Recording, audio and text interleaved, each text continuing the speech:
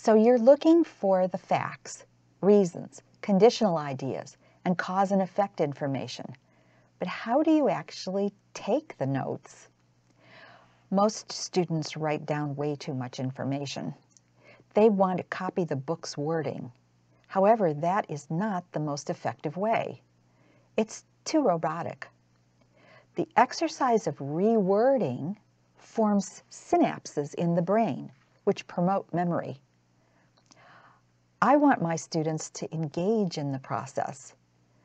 They must really think about what they just read so they can formulate their own way of saying it.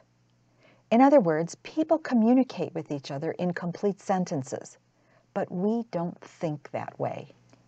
In fact, the brain stores memories as relationships, associations, categories, symbols, abbreviations, short phrasings or groupings.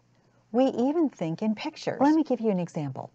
If I said the word raisin to you, would you think of the letters R-A-I-S-I-N? Or would you picture a little dried up grape?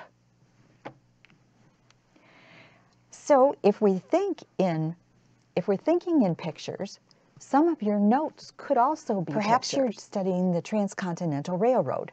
You'd want to write that word down one time and perhaps use the abbreviation RR. I've drawn a picture of a railroad track. At either end of it, the two railroad companies that were starting from both ends of the track and meeting in the middle, we had the, the Central Pacific Railroad starting in the west, and the Union Pacific Railroad from the east. They met at Promontory Summit in Utah in 1869, where they drove in the Golden Spike, being the last spike that they needed. So a lot of information is given pictorially. It's a lot more fun to look at, especially when a, a, lot of what you're doing is reading, reading, reading. And if you're using like a highlighter and, and underlining the important things, you're getting way too much information. Again, you're, you've got sentence structure and your, your brain doesn't remember things like that.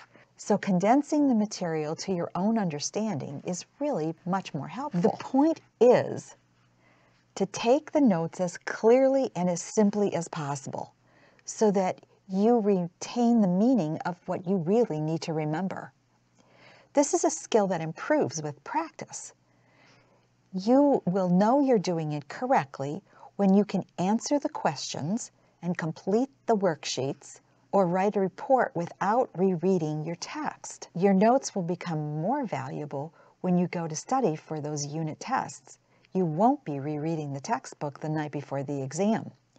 And you'll be happily surprised to know that when all those chapters that you covered way back in September will come alive to you again when you study for your midterms and end of the year tests. Because you took the notes from your own understanding and memorialized them in your own notebook. Furthermore, your notebook is going to be yours to keep. Uh, I suggest that you use uh, a designated spiral or notebook, some organize yourself some way where it's only science and it's only social studies. That way, you're, you'll always have those notes in your possession. Lots of times teachers will, will collect the worksheets to be graded and pass them back a little too late for you to really be studying along the way for those final exams and quizzes. So the notes are a, a very valuable resource for you.